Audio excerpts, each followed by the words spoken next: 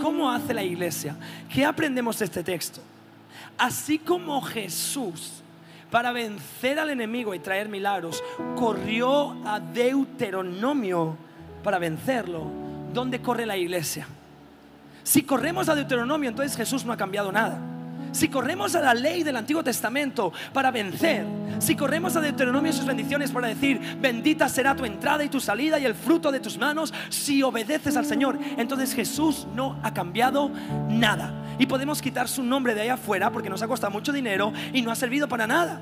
¿Dónde va la iglesia para tener milagros y ver cambio en sus vidas?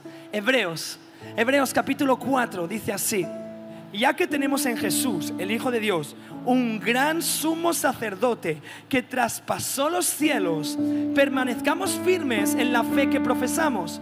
Porque no tenemos a un sumo sacerdote que no pueda compadecerse de nuestra debilidad, sino que fue que, sino que fue que, tentado en todo de la misma manera que nosotros, pero Él no pecó. Él no falló a Deuteronomio. Él no manchó la ley de Jehová. Él no pecó. Entonces, acerquémonos, ¿dónde? A Deuteronomio, a la ley de Moisés, al Antiguo Testamento. Acerquémonos pues confiadamente al trono de la gracia para alcanzar misericordia y hallar gracia en el momento que precisemos de su ayuda.